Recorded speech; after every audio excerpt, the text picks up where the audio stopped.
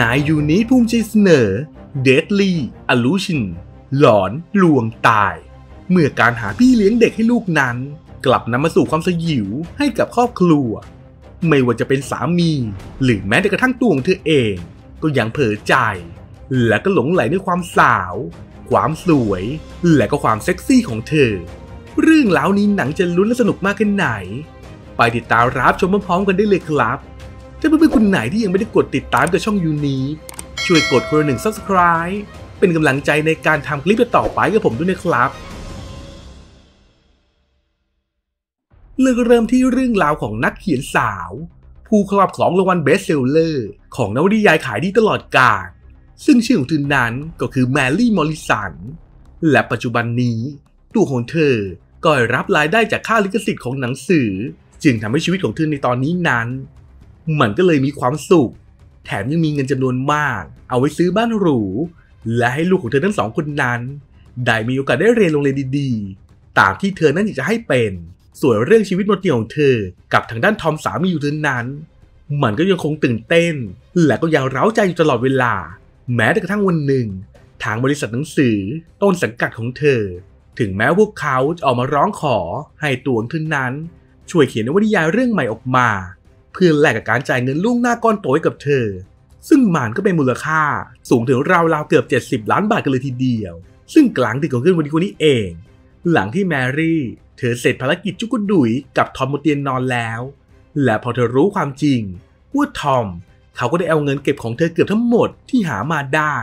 เอาไปลงทุนกับหุ้นของบริษัท แถมตอนนี้มูลค่าหุ้นของตัวที่เขาซื้อมันนั้น มันก็ขาดทุนย่อยยับ และพอแมรี่รู้แบบนี้ เธอก็เลยรู้สึกหัวเสียแบบขั้นสุด เพราะเธอก็รู้ดีว่าหากเธอกลับไปเขียนหนังสืออีกแล้วล่ะก็ จิตใจของเธอนั้น เหมือนก็จะคงหมกมุ่น อยู่กับสิ่งที่เธอเขียน จนเหมือนกับว่า เธอก็กำลังเปลี่ยนไปเป็นอีกคนหนึ่งแมรี่ตัดสินใจรีบไปปรึกษากับเอเลน เพื่อนสนิทที่เป็นจิตแพทย์ของเธอ ว่าทางเดียวที่ตัวของเธอนั้น จะสามารถแก้ปัญหาการเงินของเธอในตอนนี้ได้นั่นก็คือเธอต้องรับงานเขียนนี้อีกครั้ง ซึ่งพอได้ยินแบบนี้ เอเลน เธอก็เลยพูดแนะนำให้แมรี่ ลองใช้บริการบริษัทจัดหาพี่เลี้ยงเด็ก เพื่อมาทำการแบ่งเบาภาระเรื่องการเลี้ยงดู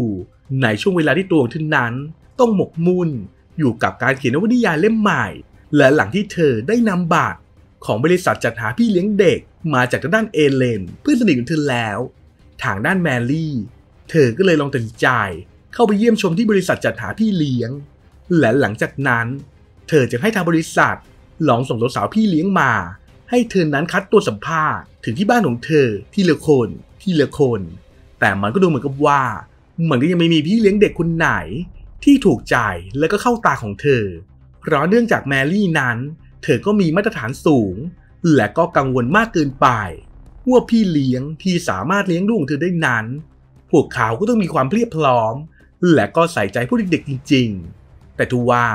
จู่ๆช่วงเย็นในวันนี้เอง เหมือนก็มีพี่เลี้ยงสาววัยใสคนหนึ่ง ขี่จักรยานเข้ามา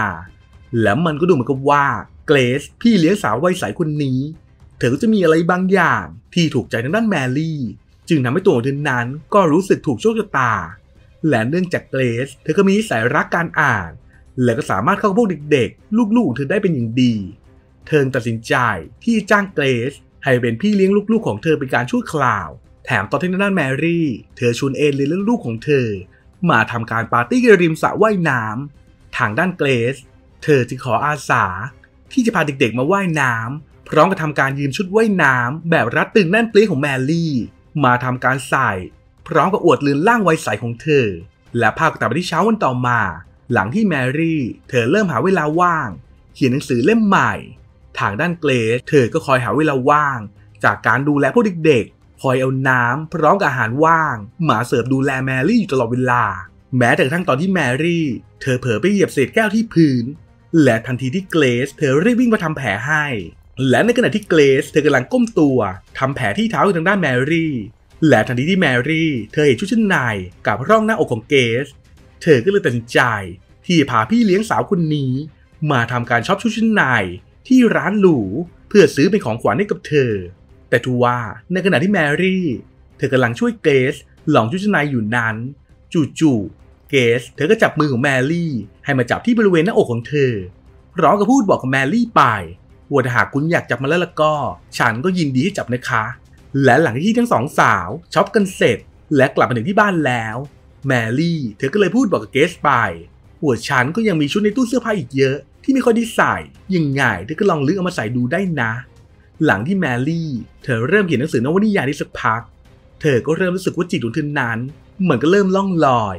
และค่อยเปลี่ยนไปเป็นคนละคน ถึงขนาดตอนที่ตัวของเธอนั้น นั่งดูดซิก้า เธอก็ยังทำการส่องเกส ตอนที่ตัวเธอนั้นก็กำลังลองเปลี่ยนเสื้อผ้าของเธออยู่ ซึ่งแม้แต่กระทั่งตอนที่ตัวของเธอนั้นก็กำลังคุยกับทีมงานของหนังสือ จิตใจของแมรี่ เธอก็ยังคงหมกมุ่นอยู่กับเรือนร่างอันงดงามของเกรซอยู่ตลอดเวลา จึงทำให้ตอนนี้เธอต้องตัดสินใจลองพูดปรึกษากับเพื่อนสนิทอย่างเอเลน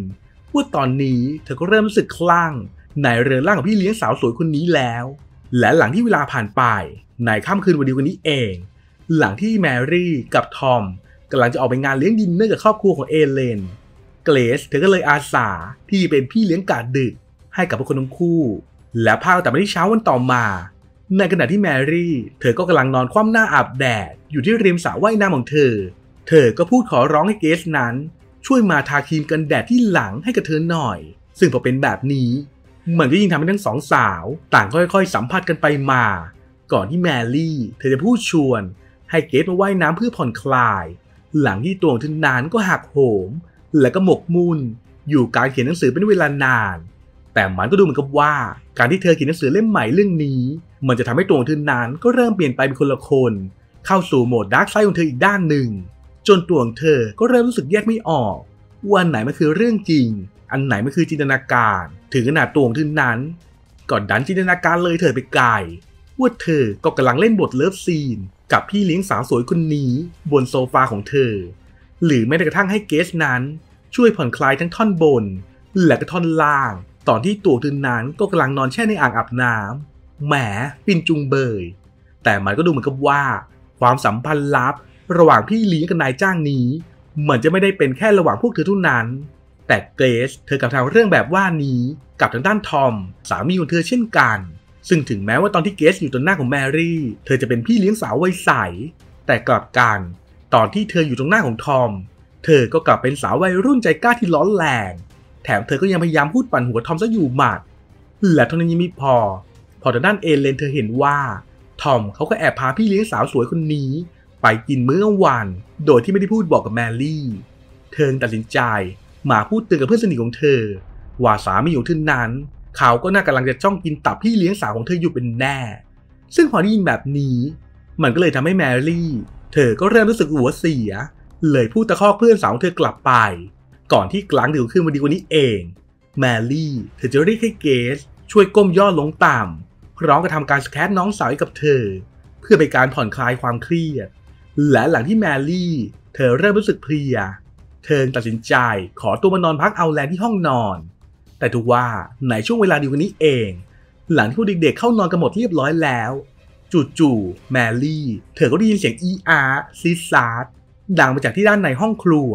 และพอเธอตัดสินใจเดินลงมาดูมันคือภาพที่ทอมสามีของเธอ ก็กำลังเล่นบทชู้รัก กับพี่เลี้ยงสาววัยใสของเธอ บนโต๊ะอาหารครอบครัว ก่อนที่ตัวแมรี่นั้นจะล้มและก็หมดสติไป และพอเธอฟื้นตื่นขึ้นมา มันก็ดูเหมือนกับว่า ทั้งทอมและก็เกสผู้ทั้งคู่ต่างได้พยายามทำเรื่องที่เกิดขึ้น ให้มันดูคล้ายความฝัน แต่ในด้านแมรี่ เธอก็ไม่เชื่อพร้อมกับอารวาสพูดตอบกลับพวกเขาทั้งคู่ไปว่าเมื่อกี้ ฉันก็เห็นพวกแกทำการฟาดกันบนโต๊ะอาหารพร้อมกับพูดโวยวายยกใหญ่ว่าภาพที่เกิดขึ้น มันคือเรื่องจริง หรือความฝันกันแน่ ซึ่งมันก็ดูเหมือนกับว่า ตอนนี้ทางด้านแมรี่ เธอก็จะเริ่มรู้สึกหลอน ไม่รู้ว่าสิ่งไหนเป็นเรื่องจริง หรือสิ่งไหนเป็นภาพในจินตนาการ และที่แย่ยิ่งไปมากกว่านั้น หลังที่ทุกคนหลับหมดแล้วจู่ๆทางด้านแมรี่ เธอก็ลุกขึ้นมาจากเตียงพร้อมกับหยิบกระดาษที่เธอเขียนเอาไว้นิยาย หายไปจากบ้านกลางดึกของคืนวันนี้ และพอเช้าวันต่อมา เธอก็กลับตื่นมาบนเตียงนอน พร้อมกับทอมสามีของเธอ ด้วยสีหน้าแววตาที่สดใส ก่อนที่เช้านี้เธอจะรู้ความจริง จากบริษัทจัดหาพี่เลี้ยงว่าทางด้านบริษัท พวกเขาก็ไม่ได้ทำการส่งพี่เลี้ยงสาว ที่ชื่อว่าเกรซมาที่บ้านของเธอเหมันที่ทำให้ตอนนี้แมรี่ เธอก็เริ่มตามสืบหาประวัติของเกรซจนได้ที่อยู่ของบ้านของเธอมา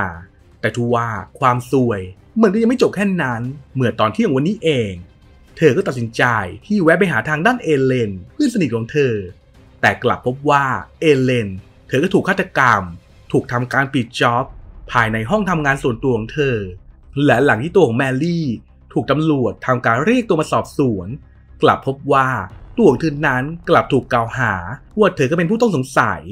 ในคดีการตายกับเพื่อนรักของเธอ ซึ่งทางด้านเจ้าที่ตำรวจ ข่าวก็เลยทำการเปิดวิดีโอจากกล้องวงจรปิด ให้กับด้านแมรี่ดูว่าเมื่อคืนนี้ตอนตีหนึ่งพวกเราก็พบว่าคุณก็ได้ขับรถออกจากบ้าน และก็มุ่งหน้ามายังสถานที่เกิดเหตุ แถมการกายที่ปักอยู่ในร่างของเอเลนนั้น มันก็ยังมีลายนิ้วมือของแมรี่อีกด้วย ซึ่งมันก็ดูเหมือนกับว่า ตอนนี้เรื่องทุกอย่างมันก็ชี้เป้ามาที่เธอ และหลังที่ทอมสามารถประกันตัวเธอออกมาได้ มันก็ดูเหมือนกับว่าเรื่องทุกอย่างที่เกิดขึ้นนั้น มันก็จะเกิดขึ้นด้วยฝีมือของพี่เลี้ยงที่เธอนั้นจ้างมา และมันก็ดูเหมือนกับว่าเกรซเธอก็พยายามสร้างเรื่องพร้อมกับสร้างหลักฐานต่างๆขึ้นมา และหลังจากนั้นแมรี่ยังตัดสินใจที่ขับรถ ไปตามที่อยู่ตามทะเบียนบ้านของเกรซและพอเธอเจอกับป้าของเกรซเธอได้รู้ความจริง ว่าครอบครัวของเกรซนั้น เธอก็ยากจน และทันที่เธอรู้ว่า เกรซเธอก็ได้ทำงานที่ฟิตเนสสุดหรูที่ตัวของเธอกับเอเลน นั้นก็เป็นสมาชิกอยู่ แมรี่ เธอเริ่มรู้สึกเอะใจ แล้วพอเธอรู้ความจริงว่าแท้จริงแล้ว เกสเธอก็ได้ข้อมูลของแมรี่ว่าตัวของเธอนั้นก็กำลังต้องการพี่เลี้ยง มาจากสถานที่ที่เป็นฟิตเนส จึงทำให้เกสนั้นตัดสินใจ ไปยื่นขอสมัครงานกับบริษัทจัดหาพี่เลี้ยง ตามนามบัตรที่เอเลน เธอยื่นให้กับแมรี่ แต่ดูว่าตัวของเธอนั้น ก็คุณสมบัติไม่ผ่านที่เหมาะจะเป็นพี่เลี้ยง เกรซซึ่งตัดสินใจ แอบจดที่อยู่บ้านของแมรี่ เพื่อทำการสวมรอยเป็นพี่เลี้ยงเข้าไปทำงานในบ้านของเธอ และพอรู้แบบนี้แมรี่เธอเรียกขับรถกลับบ้าน ซึ่งในช่วงเวลาเดียวกันนี้เองในขณะที่ทอมเขากำลังอาบน้ำอยู่จู่ๆเกรซเธอก็ใส่ชุดนางแมวยุสวาดเดินเข้ามาพร้อมกับถือมีดเข้ามาชวนทอมเล่นเกมยุสวาดแต่พอทางด้านทอมเขาไม่เล่นด้วย เธอตัดสินใจ ช้มีดฟันเข้าไปที่หน้าท้องของทอม และทันทีที่แมรี่กลับมาถึงเกรซเธอก็แกล้งทำตีเนียนทำการสวมใส่ชุดใส่ซื่อทำเป็นไม่รู้เรื่องที่เกิดขึ้น แต่มันก็ดูเหมือนกับว่าพี่เลี้ยงสาวสุดคนนี้ เธอก็จะเป็นโรคจิต มีสองบุคลิกภายในร่างเดียว ซึ่งภายในเวลาเดียวกันนี้เอง เธอก็เดี๋ยวดี เดี๋ยวร้าย ซึ่งในใจลึกๆของเกรซนั้นแล้วก็อยากดูแลนายสาวของเธออย่างแมรี่ แต่มันก็ยังมีร่างหนึ่งที่ตัวเธอนั้นก็อยากจะฆ่าผู้คนรวยพวกนี้สินซา จนท้ายสุดแล้ว แมรี่ถึงตัดสินใจ ที่ใช้แจกันฟาใส่ไปที่หัวเกส เพื่อให้เธอนั้นสงบสติอารมณ์ลง เพราะถึงแม้ว่าตัวแมรี่ เธอจะรู้ว่าพี่เลี้ยงที่เธอจ้างมันนั้น เธอจะป่วยเป็นโรคจิตสองบุคลิก แต่เธอก็ยังอยากที่ดูแล เพราะออกค่าใช้จ่ายทั้งหมดในการรักษาตัวให้กับพี่เลี้ยงสาวคนนี้ และหลังที่แมรี่ ส่งตัวเกรซมาทำการรักษาตัวที่สถานที่บำบัด และหลังที่เรื่องทุกอย่างจบลง